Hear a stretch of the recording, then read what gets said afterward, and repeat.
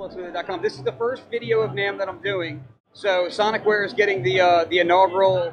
Oh my God, Ken is probably going to ruin this video, but so any any and all apologies for that. Uh, why don't you tell us what you have here? Yeah, so here we have the uh, Liven. Uh, it's a sequencer. It's from Sonicware, um, our company. It's sort of, uh, I would call it kind of a synth focused groove box.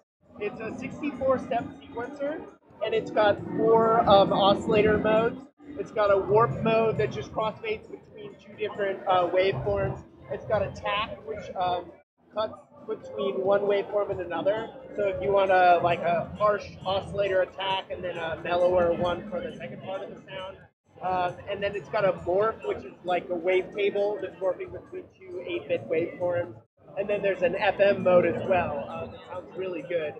Uh, yeah, so um, the main idea here is that you can record a 64 um, uh, step sequence, and then once you have that dialed in, say you start with your baseline, and you want to do a new part, you can record it to one of the four uh, looper slots. So it's an audio-based looper, so you just play it through, it will record that to a looper slot, and then you can clear out the pattern. Save that pattern real quick, and then um, you can work on a, a second pattern, and then record that to a looper, and then work on your third pattern, record that, so then you can have those three parts, and then one of the looper slots is external. So say you have like a Volca drum or any other outboard um, you know, thing that can sync up with MIDI, and you can have that um, record uh, a loop as well. And the, the loop start and end can be quantized however you like. So you can have it start recording the loop right on the one, even if it's an external uh, synth.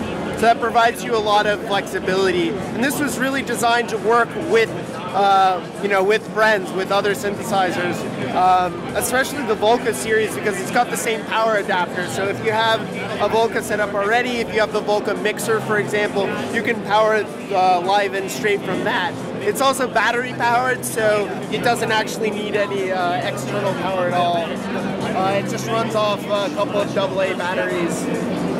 Um, yeah, so that kind of gives you an idea. What's the battery life like on, on, when you're running it from batteries? I'm not sure. I know the ELZ1, this is just a prototype, so we don't have that quite nailed down. I know the ELZ1, which is similar hardware, runs for, I don't know, about four to six hours.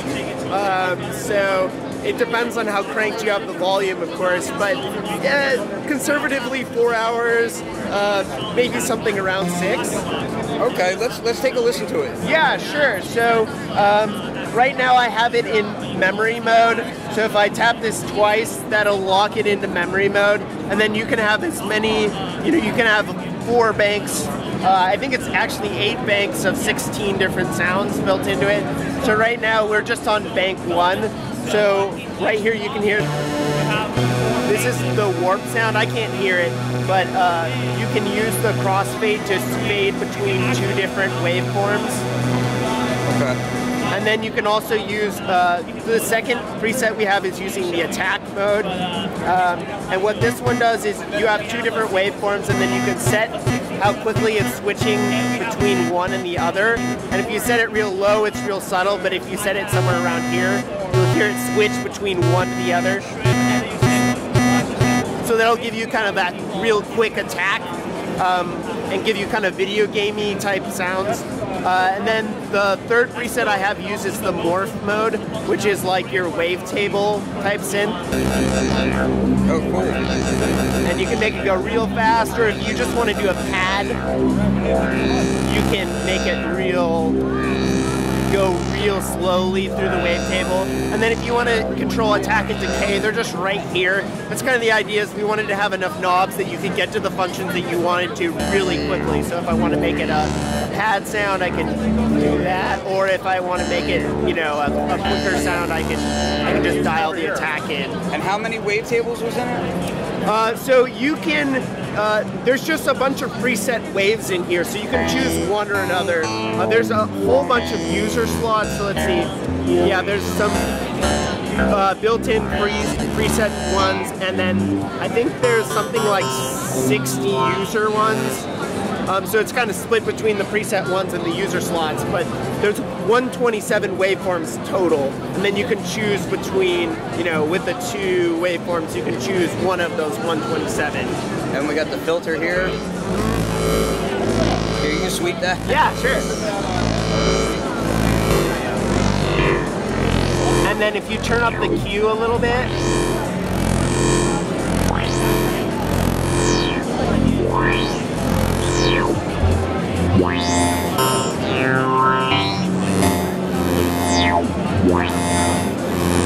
and there might be uh, there might be uh, uh, the oscillator might be controlling the filter. Okay, give me one well, second. yeah. What I'll do is um, I'm going to take the mic level down, Okay. and this way you'll be able to.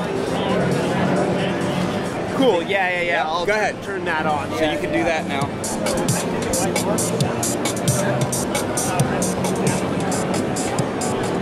I can just turn that off. Uh, yeah. Yep. Yeah. So let me turn that.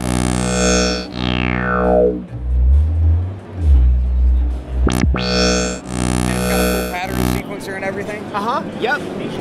So, so yeah. Do you want to hear the filters again? Yeah, sure. So right now it's morphing between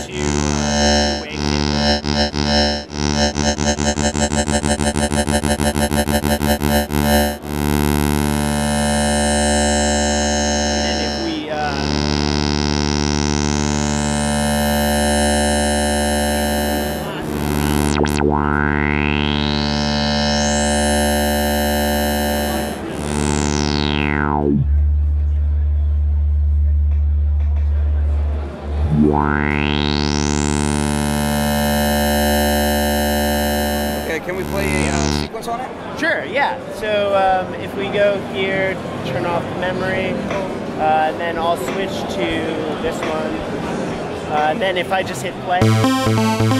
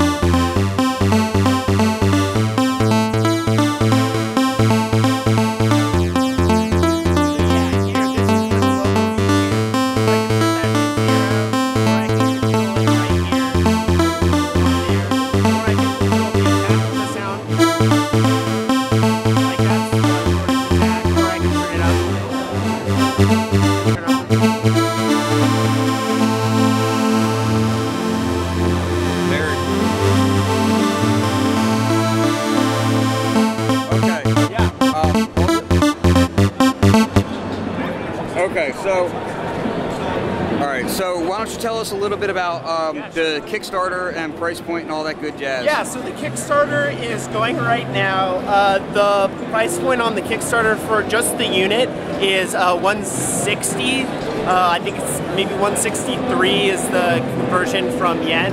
Um, so that's a really good deal. It's only about ten dollars more than the uh, than your basic like Volca, and you get the full sequencer and you get the looper, and it plays with all your other Volcas if you have some. Uh, so yeah, that price. When did it go up on Kickstarter? When did that go live? Uh, I think it went up maybe about a week ago. Okay. Um, so yeah. So there's still time to get in on that. Oh yeah, definitely. It's going to be running for I think 40 days. Do you know what the um, So, wh- yeah. what's the price point on it when it hits retail? We're not super sure on that quite yet. Um, Okay. So this is your opportunity to get one at this price, but. 160 sounds like an awesome price. Yeah, 160 is a really good deal. I don't know how much more it will be uh, at retail. So. Very cool. Yeah, and then we also have a uh, bundle as well. If you're interested in the ELZ one, which is this is uh, our third year bringing it to NAMM. Uh, it just released last year. Um, it's got a whole bunch of different synthesizer modes. It can do 8-bit sounds, but internally it, it can do much more than that. Um, so yeah, uh, so there's a bunch of different um, oscillators in here. We have like a low bit uh, oscillator, and you can switch the bit rate of that, so you can get down to two bit. Um, yeah, and then beyond that, it's got you know a standard oscillator. It's got a custom one. This one you can have one half of the waveform be one like one wave shape, and then you can switch it to whichever one you'd like. Um, oh, and, cool. then, and then another type, and then once you have that, you can also affect the duty of the whole thing, oh, both. Cool. So you can get it to, yeah. So and you can LFO that or have that be uh, envelope, an envelope as well. Uh, and then we have like this is an uh, like a wave. They call it a wave memory synth. I'm not sure if that's a common uh, name for it, but you can get into and just make a custom waveform. So you can set the position, and then you just set the level here. I'm gonna steal your headphones. Yeah, go for it. Whoop. There we go. Yep, I hear it. Okay, cool, cool, cool. Then, uh, let me turn on the. Oh, okay. Okay, yeah. So if you get in there, and then you can. Yeah. So Oh, there's your detune. So it tells you your knobs right here. Yep. Like one, two, three, four. Mm-hmm. So you can see that. So that's these Yeah. knobs right here. Yes, that's what I like about it. It's really quick to program. It's like you can just look, okay, that's one, two, three, four, and then you see these dots over here. That means there's additional menus available. So you just tap that button again and you can switch into the menu and it's gonna show another four parameters that you can uh, switch. So in this one it has like a modern one and then a classic which has like more 8-bit kind of aliasing uh, character in it. And then these are the four slots for your uh, effects. So there's, uh, you can get pretty crazy with the modulation stuff because you have two sets of modulation. So you could have like a phaser and a chorus happening. Uh, the tape delay sounds really, really good. Um, so if you keep tapping this one, it'll go down to the tape, and it acts like how you would expect a tape delay. So if you hit like, if you change the delay time, it'll it'll uh, adjust to that. So if you're playing a note, it'll like wig out the uh, the pitch of it.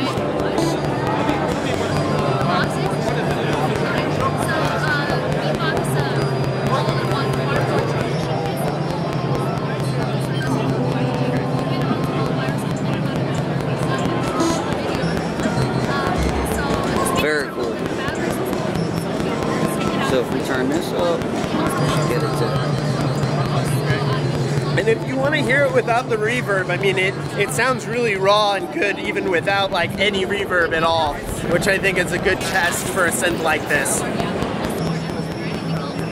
Very cool. So then you could do this. Here's your mix, dry. Reverb. Yep. All right, so this is Sonicware Yep. NAMM 2020. Definitely go check out that Kickstarter. That's crazy. How, what's the price point on the ELZ one? Um, I think this one is 499 right now. Uh, yeah, it's available in the U.S., Europe, and in Japan. Very Uh, let me confirm the price point. What's the price point in the U.S. for the ELZ one? 599. $5.99. Yeah, so it's 599 right now in the U.S. Very cool. And it's all aluminum. Like people were asking us at first if this was plastic. It's all aluminum. It's aluminum construction. Oh, wow. It's not plastic, so it's uh, It's light. take It's light, but it's solid. Yeah. That's cool. Don't abuse it, but it could take the abuse. Yeah, very nice. All right, cool. This is Flux of FluxWithIt.com checking out Sonicware at NAMM 2020. Yep.